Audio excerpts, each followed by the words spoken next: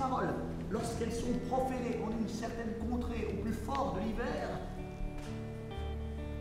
gèlent. Et elles se transforment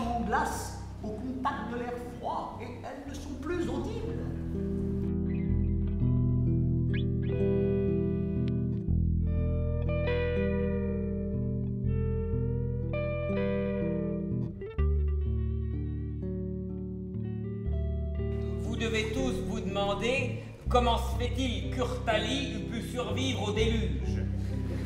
Attendu que, vu sa taille, il n'aurait pas pu pénétrer dans l'arche. Au mois d'octobre, il me semble, eut lieu la semaine si renommée dans les annales que l'on nomme la semaine des trois jeudis. Car il en eut trois, pour cause d'anomalie bissextile. Je veux des, des petits panurges partout, avec esquelles je puisse esbaudir.